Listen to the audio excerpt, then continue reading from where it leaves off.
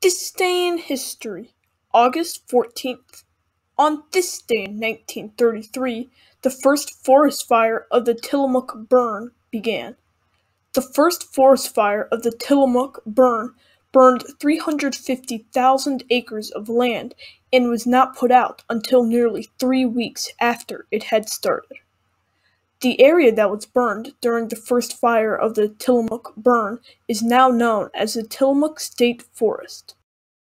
On this day in 1936, the final public execution in the United States took place. The final public execution in the United States was the execution of Rainey Bethea. The execution of Rainey Bethea also marked the first execution carried out by Sheriff Florence Shoemaker Thompson, who was the first female sheriff to carry out an execution. On this day in 2003, the Northeast Blackout of 2003 occurred. The Northeast Blackout of 2003 was a widespread power outage that affected the northeastern and midwestern United States and the Canadian province of Ontario.